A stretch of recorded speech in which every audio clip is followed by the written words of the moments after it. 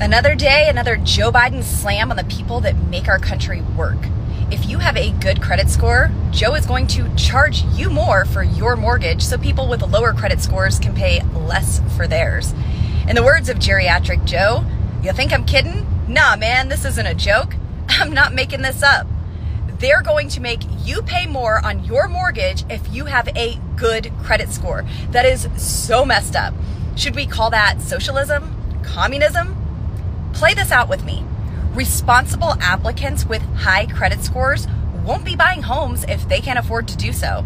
As if inflation wasn't bad enough, I don't know where they come up with this, but it is wrong on so many levels. I'm working on a bill to make this illegal, and other Republicans will be doing the same.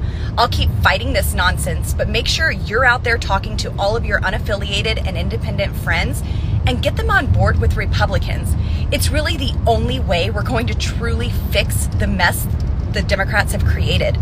Take care, y'all, and have a great day.